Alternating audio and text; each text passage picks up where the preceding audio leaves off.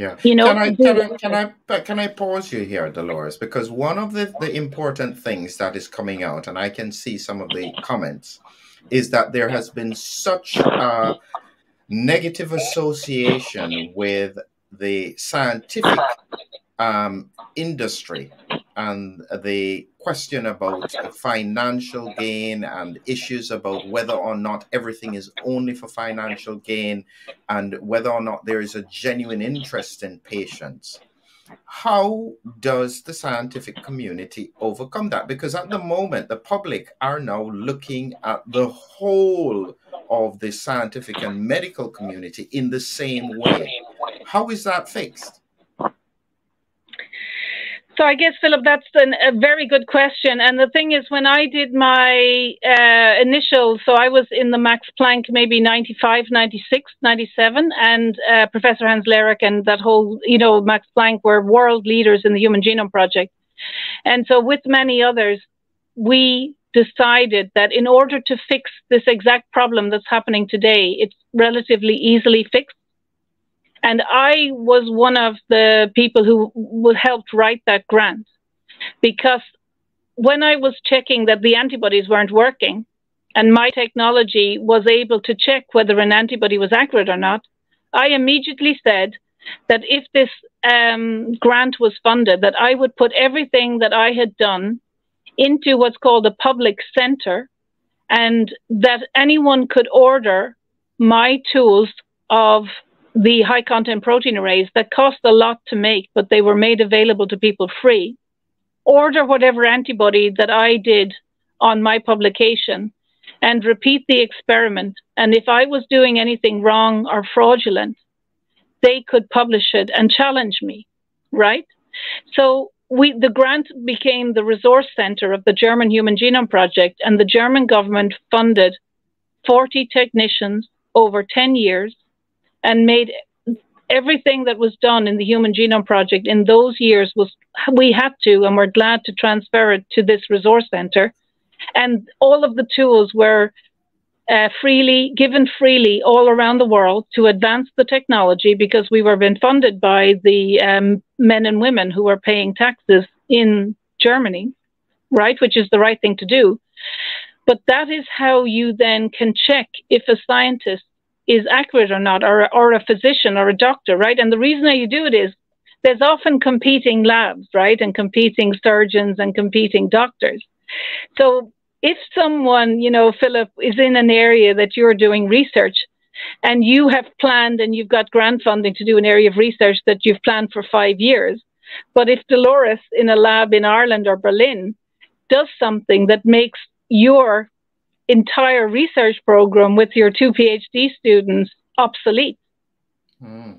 This way allows that if Philip says, I'm not sure, I don't, I'm not sure if this, this is unbelievable work, that if you're required to put everything that I have published into a public repository, then Philip can go and repeat it. And if it's not accurate, he can then submit a publication and say, I don't think what she did. So why I now have a lot of standing around, you know, why I came out in 2020 was saying that um, we need to get the the things that were the main tools of the unlawful lockdown were the PCR testing and also this program that came out of Imperial College um, and the existence, which we don't have to go into, of whether this COVID 19 existed or not, right? And of course, why I came out and said, I challenged them to say, well, all you have to do is supply the PCR testing and the uh, COVID, the, the causative agent, I was calling it, of what they were calling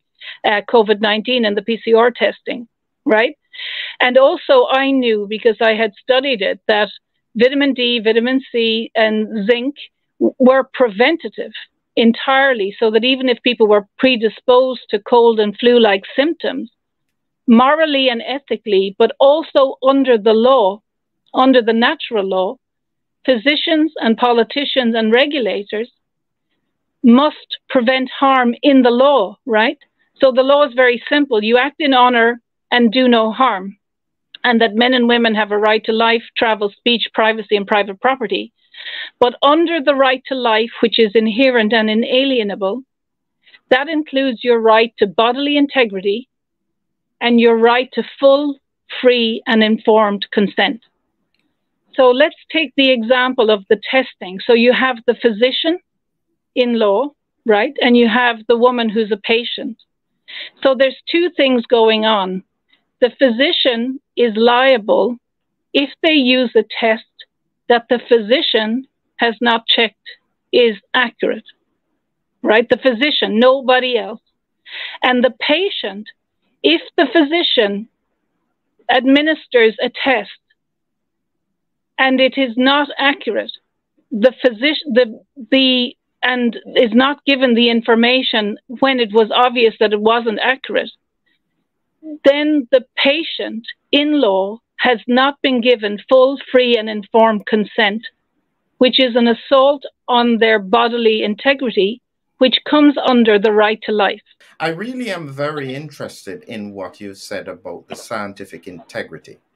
Because when you have proper scientific integrity, what happens is that every question is addressed in a systematic and consistent way. And an example I would give, without going into too much details because of the controversy, I can't talk about it here. But when stories come about, say, um, with the embalmers seeing abnormal patterns, the scientific approach would be to go and look at it in detail if you were hearing about that there were more people who were having, as you said, the 51 people who may have died, and so on, eh, there should normally be a standard move to look and study some of these patterns. But what we've seen coming through with the pandemic is that there doesn't seem to be that check, that natural check that you would expect. I'm trying to work out how do we get that kind of probity back to protect the scientific position. Because as i said at the moment the public are losing faith with science. And even the scientists with your great work that has been done in proteomics people are going to discredit it because you're part of the scientific community. No no. Well the thing is that's not i think that's not accurate philip. So the thing is how you so your question is how do we resolve it right? Yes. So the answer is so we did that. Uh, we showed it in the resource center of the German Human Genome Project, and I was involved in many initiatives to establish what are called biobanks or resource centers, right? So essentially what they are and what I was recommending, I was on the Government Advisory Science Council in Ireland for all of its 10 years, right? Um, and, you know, and in Germany and I advised in the EU and in America and everywhere is it's very simple that if there is a certain amount of research funding in any area, right? It doesn't matter what area it is, that the men and women of the, the society says, well, maybe uh, 5% is set aside for looking at the integrity and that everything that's published uh, has to, the men and women who are the authors of it are liable under the law. It's, it's the same thing for everyone. That if you write something that's not true, that can be in law, right? It's act in honor, right? And then it just means that if you write something that's deceptive or misrepresentation or fraudulent, that you are accountable in law. So, so a trial by jury, the standard in the natural law everywhere is like seven years, right, in prison. For for so really, if you publish something, um, and it's fraud or misrepresentation, or it can't be repeated, then really everyone is accountable. And if there is a system of integrity, just someone else in the world, or it could be systematic, that it's so in the case what i have proposed is very simple whoever submits something you would say in the publication the positive control and the negative control it's very simple in science you have to have like a series of positive and negative controls mm-hmm. and you'd say the output of the experiment is a pcr test that diagnoses tuberculosis or an antibody that binds a protein CA125 that will be a diagnostic test for ovarian cancer, right? Or whatever it is. Or if it is um, a computer model generated by Imperial College that will accurately look at the deaths in the world, right? they would have to have like a positive control, a negative control. So, say if it was the computer model, you could run a template program on the uh, worldometer uh, data and then look at specific examples and that verify it that it accurately predicted or that it did what it said, right? Now, if you have people involved in research integrity, that is very easy to do. And so, what I've been saying for 30 years, and it's the same now, that all promotions should be based on people's integrity index or reproducibility index, and that everybody's publication is that no publication is really accepted to be part of your curriculum vitae unless it can be shown to be reproducible